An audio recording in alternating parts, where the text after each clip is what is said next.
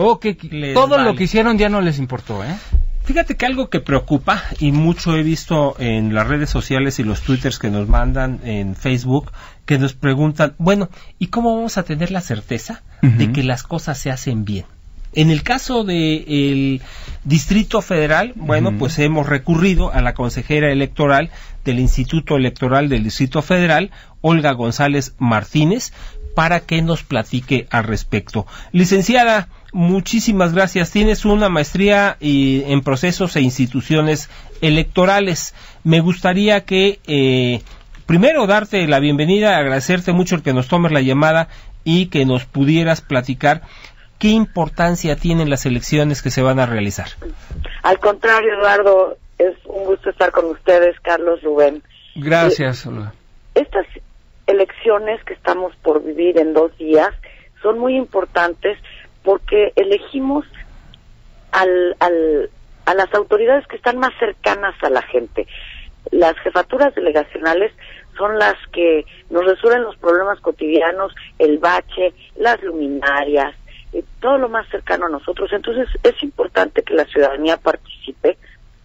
También quiera, quisiera decir que el, los institutos electorales organizamos las elecciones, pero quienes hacen las elecciones son los ciudadanos. Son los que participan, ¿verdad? Que era lo que estaba viendo. El presidente, el secretario, los escrutadores, pues todos somos ciudadanos que fueron insaculados, o sea, fueron elegidos al azar, ¿no? Y no tienen sueldo. Así es, ¿no? así es. Son ciudadanos, un ejército de más de 100 mil ciudadanos que están en las casillas que van a recibir a los propios ciudadanos, que van a contar los votos, eh, no solamente los funcionarios de casilla, también los consejeros distritales que van a hacer el cómputo distrital son ciudadanos que fueron eh, seleccionados mediante un proceso que incluyó eh, exámenes, entrevistas y que cumplen con, el, con los requisitos que marca la ley, entre otros, no militar en ningún partido político ni haber militado en ningún partido político desde hace tres años. Claro, aunque tengan sus preferencias personales, ¿no? Olga, quiere decir que entonces el Instituto Electoral organiza la fiesta, pero quienes hacen la fiesta somos los ciudadanos, ¿no? Es correcto, es correcto. Y en esta fiesta cívica que vamos a tener, pues es importantísima la participación. Ya las campañas electorales se realizaron al gusto, inteligencia, creatividad de cada partido, de cada candidato. Lo que pudieron seducir se reflejará en las urnas. Ya no es tiempo de partidos, es tiempo de las y los ciudadanos. De que, que cuenten y que cuenten bien los votos. Ahora, una vez que se reciben los votos, que se cuentan y que llega la información al mismo instituto, ¿cómo hacer o cómo le van a hacer para transparentar lo que ya se trabajó? Bueno, eh, tenemos dos ejercicios que coadyuvan a la transparencia, a la confianza de los resultados del cómputo. Uno de ellos es el PREP y el segundo el conteo rápido. Son cosas diferentes. Son cosas muy diferentes.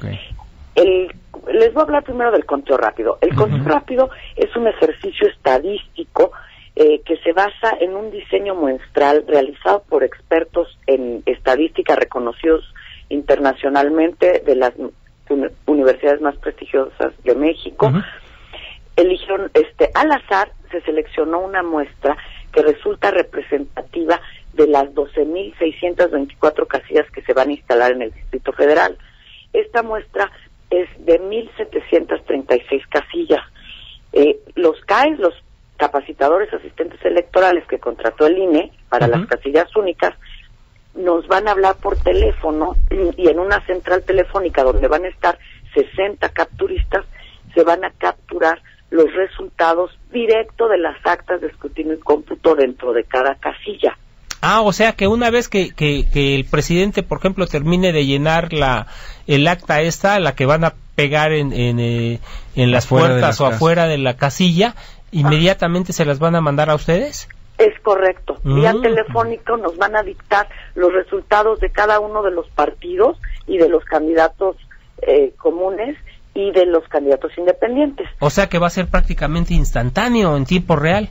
Así es, así es. ¿A qué hora crees que se empiece a generar esta información? ¿Se cierran a las seis de la tarde las casillas? ¿Qué es? ¿8 de la noche? a las 8 de la noche estarán empezando, terminando eh, el cómputo, el escrutinio y cómputo en las primeras casillas. Nosotros consideramos que antes de las 11 de la noche, a las 10, 10 y media, es más, a más tardar a las 11, contaremos ya con información suficiente como para hacer un, un, un ejercicio estadístico que nos permita estimar cuáles fueron los resultados de la elección de las 16 jefaturas delegacionales. Que eso va a ser el conteo rápido. ¿Y el, ¿Y el PREP cómo va a funcionar? El PREP es un ejercicio que corre de manera paralela. Para el PREP sí tenemos que esperar que, eh, eh, acabando la de, elaborar el acta de escrutinio y cómputo, la meten en un paquete electoral que va junto con las boletas y afuera del paquete viene un sobre de plástico donde viene la segunda copia de estas actas, que es el acta PREP, le llamamos así. En cuanto llegue a cada oficina distrital, eh, tenemos 40 distribuidos a lo largo de igual número de distritos, eh, entonces va a haber capturistas en cada una de esas sedes distritales.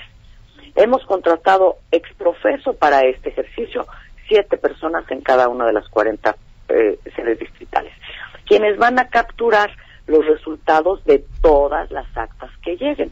A diferencia del conteo rápido, que es un ejercicio estadístico, este es total de todas las que vayan llegando. O sea, la diferencia es que uno va a ser, por decirlo así, de oídas, ¿no? Les van a hablar por teléfono, les dan el dato, inmediatamente se captura y vámonos, ese es el conteo rápido. Entonces también el que, que no empiecen a circular antes, información. Y el PREP es el documental donde van a tener el papelito habla, donde están los datos, se capturan, se meten al sistema y inmediatamente empiezan a dar los reportes.